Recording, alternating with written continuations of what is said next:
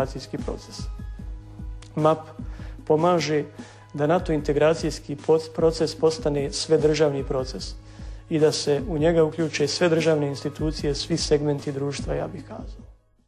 A u nastavku pogledajte šta građani naše zemlje misle o ulasku Bosne i Hercegovine u NATO savez.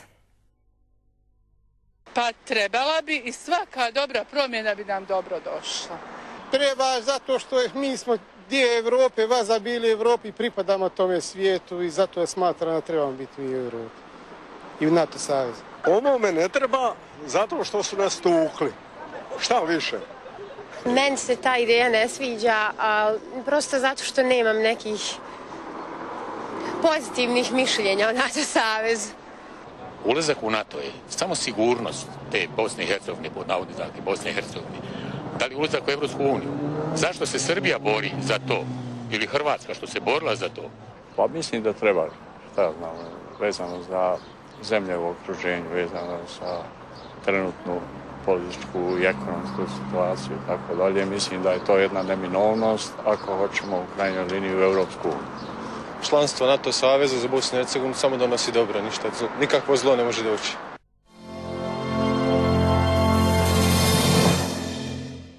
Zemljotres jačine 5,9 stepeni Richterove skale pogodio je veliko područje sjeverne Italije, pri čemu je poginulo najmanje šest osoba, a srušene su fabrike i drveni crkveni tornjevi u gradovima, saopšteno je iz Američkog geološkog instituta. Jak potres koji je trajao 20 sekundi jedan je od jačih u sjevernom dijelu Italije. Nakon njega su uslijedili manji potresi.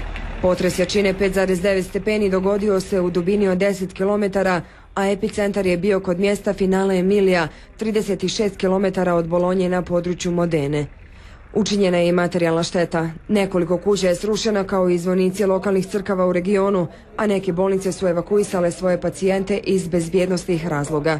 Prema pisanju talijanskih medija u potresu je poginulo četiri radnika u gradu Ferrara koji su radili noćnu smjenu. Jedna osoba je također preminula u Ferrari i prepostavlja se od šoka. Radilo se o starijoj osobi. Jedna žena je preminula u Bolonji i također se smatra da je umrla od šoka. Čuo sam šta se dogodilo. Dok sam prolazio tuda sa svojom suprugom, ona je rekla, pogledaj, tvoje radno mjesto je srušeno. Ovo je ogromna šteta, a pored toga najgore od svega što smo izgubili i ljude. Potres je trajao dosta dugo, preko 20 sekundi. Ljudi su masovno u strahu izašli na ulice. Preko 50 osoba je povrijeđeno. Strahuje se da bi osobe mogle biti zatrpane pod ruševinama. Potres se osjetio i u Hrvatskoj. Od Istre do sjeverozapadne Hrvatske javio je geofizički ocijek.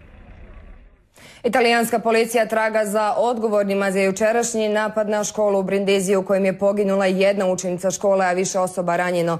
Ispitana su dvojica osumnjičenih koji su identifikovani zahvaljujući snimcima sigurnosnih kamera. Moguće je da se radi o individualnom činu, izjavio je italijanski tužilac.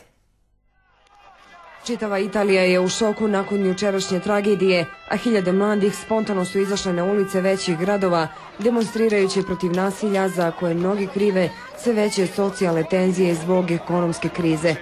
Za sada niko nije preuzeo odgovornost za napad u kojem je od povreda zadobijenih u eksploziji preminula 16-godišnja Melissa Bassi. Više osoba je ranjeno, a četiri osobe su u bolnici dovezene u teškom stanju.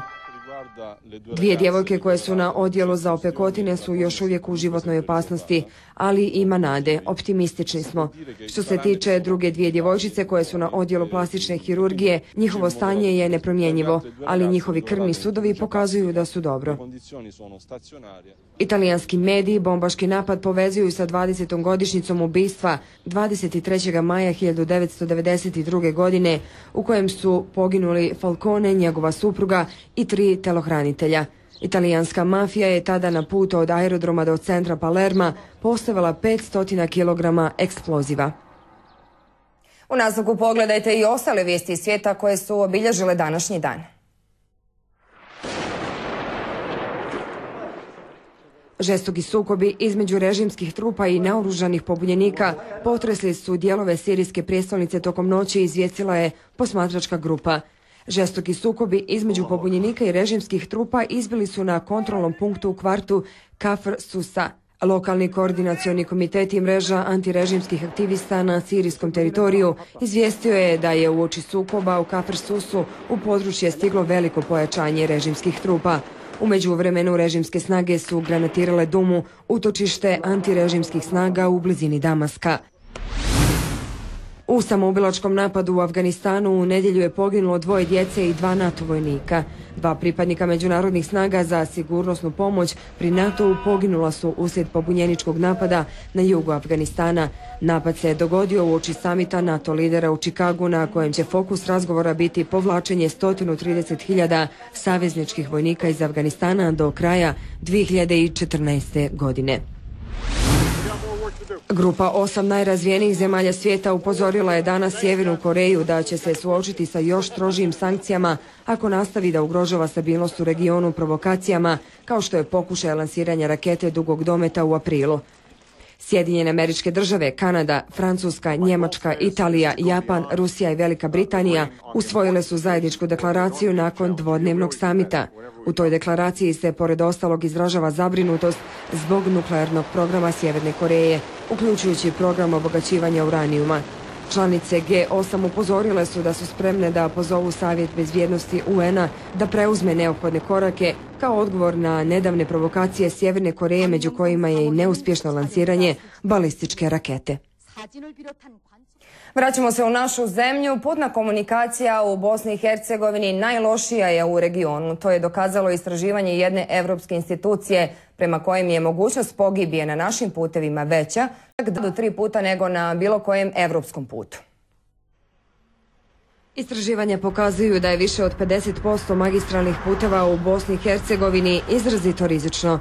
Prema nekim procjenama, broj stradalih u saobraćajnim nesrećama na našim putevima bi se mogao povećati ako u narednom periodu ne dođe do potpune rekonstrukcije ili izgradnje novih puteva. Putevi su nam užasni. E, mislim da smo po broju izgrađenih kilometara autoceste vjerovatno na dnu europske ljestvice, da nas je prestigla Albanija davno, da je Kosovo u jednom jakoj ekspanziji izgradnji e, autocesta kako bi se situacija popravila, Federalno ministarstvo prometa i komunikacija planira pokrenuti aktivnosti na dobijanju kredita koji su ranije odobreni za gradnju puteva u našoj zemlji, ali nisu aktivirani. Zašto nisu aktivirani? Zato što je trebalo najjednostavnije. Trebalo je da se ode u Luksemburg, da se potpiše ta aplikacija, da ljudi prebace sredstva pod idealnim uslovima i da se pravi autoput. Nije bilo dobre volje, nije bilo političke volje, uvijek je neko to kočio, i na svu sreću, evo sad smo stekli uslove pa ćemo to ovaj dotjerati. Znači, već iduće sedmice ide se u Luksemburg da se potpiše kredit od 166 miliona eura. Taj kredit će se iskoristiti za izgradnju dvije dionice autoceste od Ođaka do Svilaja i od Vlakova do Tarčina. Obje ove dionice grade se u sklopu koridora 5C. Posjećamo, u toku su pripreme za početak radova na magistralnom putu Tuzla-Sarajevo, kada će se izgradnjom tunela i četiri mosta skratiti putovanje i zaobići prevoj Karaula. Kako ističe ministar Bijedić, u maju je planiran početak radova na proširenju magistralnog puta od Šičkog brda do bolnice Kreka, izgradnjom dvije dodatne saobraćajne trake. I za kraj ćemo vremenu. Sutra se u našoj zemlji prije podne očekuje pretežno oblačno vrijeme, a poslije podne sunčana razdoblja. U jutarnjim satima kiša je moguća ponegdje na jugu i zapadu zemlje, u ostatku dana mjestimično i u ostalim područjima. Vjetar slab do umjeren, povremeno i pojačan, južni i jugoistočni. Jutarnja temperatura od 10 do 18, a dnevno od 20 do 27. U Sarajevu prije podne pretežno oblačno, poslije podne sunčana razdoblja, tokom dana povremeno je moguća slaba kiša. Jutarnja temperatura oko 12, a dnevna oko 23 stepena. Stigli smo do kraja OBN Infa. Naše vijesti pogledajte na našem portalu www.obn.ba.